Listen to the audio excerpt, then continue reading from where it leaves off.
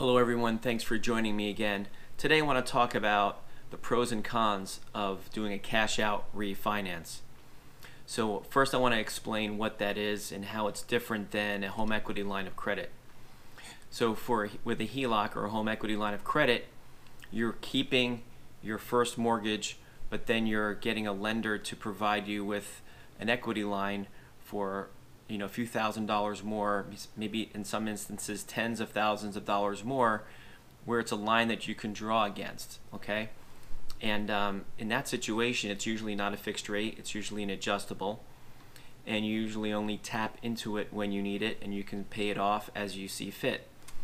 With a cash out refinance, you're refinancing your first mortgage, and then you're you're refinancing it for a higher amount for the additional amount that you would like to cash out.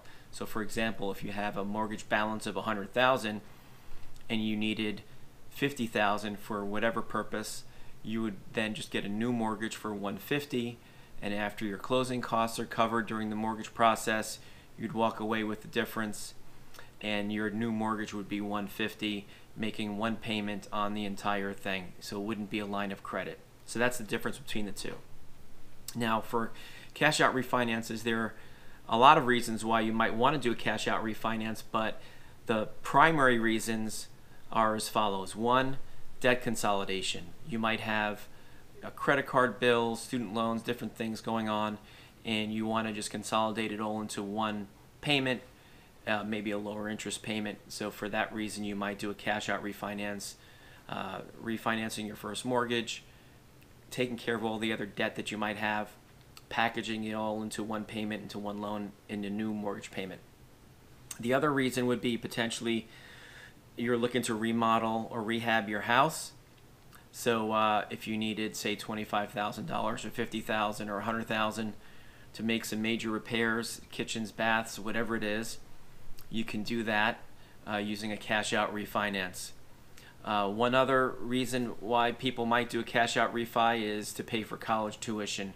So your kids may be heading out to college and you think you might want to um, uh, take the money out there uh, to pay for it versus have them get into some very expensive student loans at a much, much higher interest rate, you might be considering that for the reason to do the cash out refinance.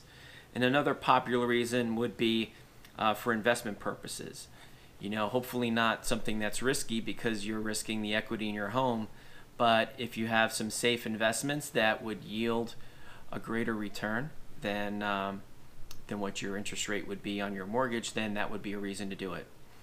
So I want to talk now about the pros and cons of doing a cash out refinance. Let's start with the cons. The first thing is is you could potentially be going from uh, to a higher rate. So for example, if your rate right now is 4% and the the cash out refinance rate that you're being offered in the near term would be say 5%, that would mean that you're taking your current mortgage balance of 4%, moving it all to 5 plus the additional money you'd like to borrow. So that could be one one con or one negative of doing a cash out refi. Uh, closing costs. So you're going to incur closing costs all over again when you refinance. Yes, you can roll it in you can roll it all into the loan so that way you're not really paying it out of pocket, but then you are financing those closing costs over the period of your loan. Um, you'll have less equity in your home, so that's a negative. So, for example, if you've got uh, 50% equity in your home, and then you take out your, you do the cash out refinance, you take out all this extra money. Now you own less equity, you own, you own less of your home than you did before. So that's uh, that's a negative. And then finally, uh, you're just farther away. You're now farther away from paying off your home.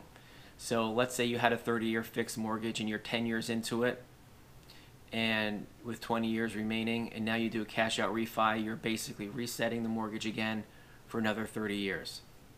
So let's talk about the pros, the benefits of a cash out refinance. The first thing is is you could be going to a lower rate. So let's say your rate is 4% and you can get a cash out refi at 3.5. Again, I'm sitting here at the end of 2021 talking about rates. When you watch this, the rates could be very different, but the same uh, theory holds true. you could be going to a lower rate. So in theory, it's a benefit. And then in fact, if the rate is that much lower and you're still cashing out additional money and, and making it a larger loan balance, your payment might be very, very similar or the same, even though you're taking the extra money out. Um, the, the other benefit is is if you're borrowing the money, uh, the cash out refi is to be used to remodel your house. You're potentially or hopefully adding more value to your home than the money you're borrowing. So let's say you're borrowing an additional thirty thousand dollars with the cash out uh, refi, and you're spending that on smartly on certain things in your house that could return real value in the market hopefully you're going to double that. Maybe you you would have raised the value of your home 60,000 by spending 30,000 on repairs and remodel and updates and upgrades. Um, the other thing is is another pro or benefit of doing a cash out refi is if you are you doing it to consolidate debt, you're likely consolidating high interest debt with higher payments and you're going to either a pay those things down faster than you would if you were just making the monthly minimum, say on credit cards, for example, or student or student loans.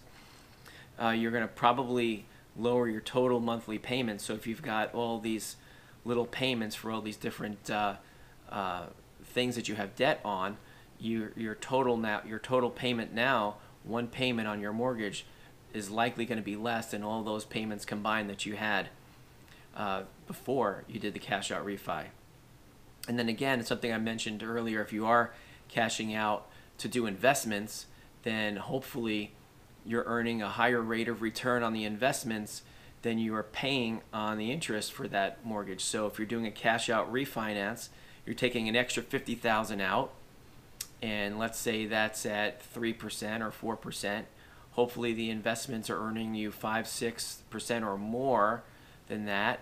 So that way you are uh, going to be ahead of the game at the end so that way that you're using the cheap interest today to borrow against uh, to use as a as an investment to earn more than your rate of return so hopefully that makes sense to you if you're looking for a cash out refinance and don't know where to start you want to get a quote on it not sure if you qualify uh, you can definitely contact us we'll help you to determine whether what you can do and what your rate would be just follow uh, uh, the link in the description below or in the first pinned comment. You can go to dreamhomefinancing.com and just complete the uh, quote form there for refinance.